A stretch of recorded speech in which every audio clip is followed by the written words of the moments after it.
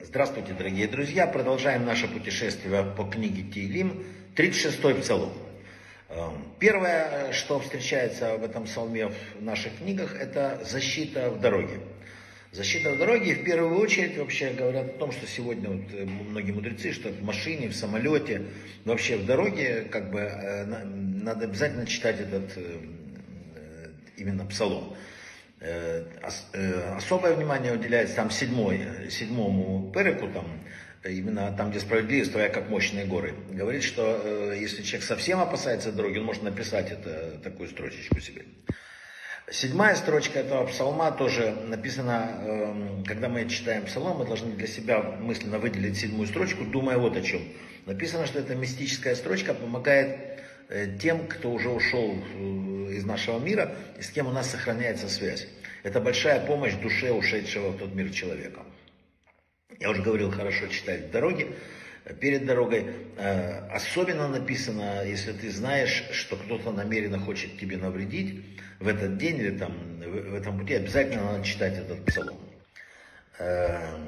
Э, вообще, очень серьезный такой мистический глубокий псалом, и комментаторы говорили, что это как бы внутренний такой диалог дурного и доброго начала в человеке, скрытый в виде вот таких вот слов. Кроме того, написано, что этот псалом говорит нам о том, что злодей, который считает, что Всевышний не видит их поступков, иначе, иначе делает, занимается по этому злом, он сильно-сильно ошибается. Что еще написано? Написано, что это молитва, чтобы не оказаться в окружении злоумышленников. То есть какое-то дело собирается, если ты волнуешься, пойдет ли оно в хорошую сторону, надо молиться. Написано, что это псалом специально серьезнейший урок людям, которые идут за своим там, побуждениями всякими. Он внушает, чтобы они не боялись Бога, чтобы хвалить дурные поступки. И таков путь написано дурного начала в этом мире. Сначала он, э, так сказать, уговаривает и дает кушать, а потом поднимается и обвиняет. Э, на шестую строчку этого псалма есть интересное толкование Мальбима. Он говорит, что есть два вида управления миром. Первое постоянное, которое существует. Природа, холод, там, жара и так далее и непостоянная то, через которое поднимается, так сказать, через чудеса. И между этими двумя видами управления есть связь, так как один и другой исходят от Творца. Когда люди совершают хорошие поступки, говорится э, в толковании к этому псалому Альбима, происходит много чудес, одетых в законы природы, которые человек практически не замечает. То есть наша доброта никогда не пропадает. В Тегелиме 36, еще раз говорю, он такой глубокий, очень такой внутренний. Э, есть объяснение, почему э, плач вообще человека, когда сердце плачет от сердца, разрываясь, это сгула для хесуда, чтобы все изменилось. Написано, что это в, в этом тигрим написано, как дорога твоя милость, Бог. Смысл этих слов в том, что милость тяжело найти, имеется суд, и не дай Бог, там есть продолжение, какое дальше? Люди в тени твоих крыл спрячутся. Это аббревиатура слов плач, да?